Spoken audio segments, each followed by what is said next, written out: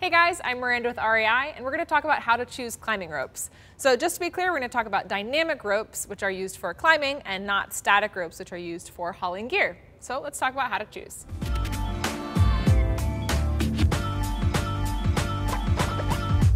So the most common types of ropes that you'll come across are single ropes like these guys here. These are the most widely used and probably the type of rope that you'll be looking for if you're cragging, sport climbing, uh, even multi-pitch or top roping. These are designed to just be used by clipping a single strand of rope into the gear as you go, or again, setting up a top rope. And you can note single ropes by looking for a circled one on the end cap of the rope. If you're not looking for a single rope and your needs are a little bit more specific, you might be looking for a half rope or a twin rope. So half ropes are designed to be used simultaneously tied into your harness, but then as you're climbing, you'll alternate clipping the ropes into gear. So that might mean that as you're going up, you'll clip everything on your left side with the blue rope and then everything on your right side with the red rope in this instance. And this will severely decrease the amount of rope drag that you might get on meandering routes if you were to use a single rope.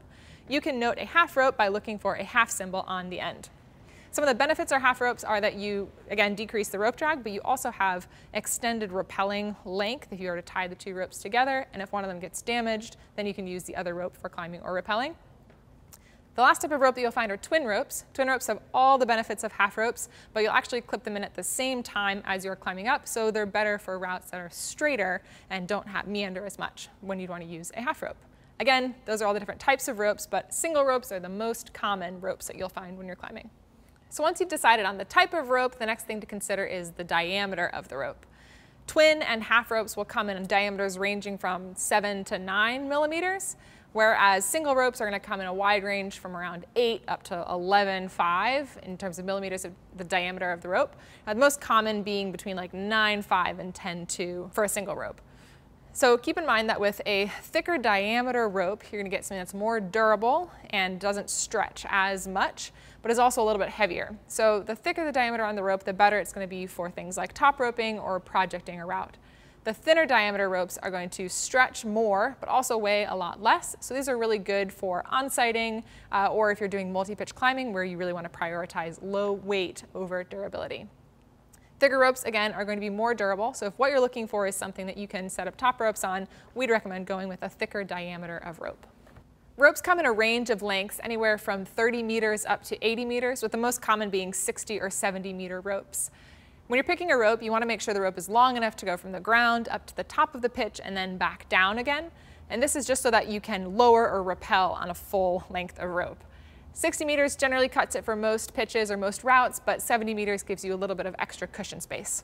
If you're looking for a rope for your gym, you can get generally a 30 meter or a 40 meter rope. Just check with your gym to see how tall their walls are and make sure you're getting a rope that will work for that.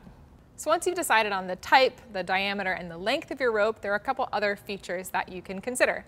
Almost all ropes are gonna have a middle marker like this rope here, which just marks the mid mark on the rope so that you know you'll have enough to lower or rappel. But then some ropes will have a bi-pattern or a bi-color sheath like this one. So this is a bi-pattern rope, meaning you have one pattern on the sheath on one half and a different pattern on the other half. This makes it a lot easier to see the midpoint on the rope, but it is going to add a little bit of cost. Another common feature you'll come across is dry treatment on the ropes. So dry treated ropes will help repel moisture and dirt. And if you're going to be climbing in damp conditions such as mountaineering or alpine climbing, you might want to consider dry treatment. Uh, one thing to consider is that ropes are not as strong when they get wet, so dry treatment helps with that as well. These are just two common features. There are a whole variety to choose from, but they're always going to add a little bit of cost. One more thing I want to mention are UIAA falls. So when you're purchasing a rope, you'll see a rating on there for how many UIAA falls the rope can take before it needs to be retired. Single ropes need to be rated to accept at least five UIAA falls, but this doesn't mean that you can only fall on this rope five times. These falls are massive falls that they're rating, the type of fall that if you were to take it, you'd probably be done climbing for the day. So keep that in mind when you're choosing a rope. We're not going to get too deep into the UIAA rating system, but just know that that number does not mean that the rope needs to be done after you take that number of falls. That's it for how to choose ropes. If you have any other questions, check out our other climbing videos. And as always, come in and talk to the experts at your local REI.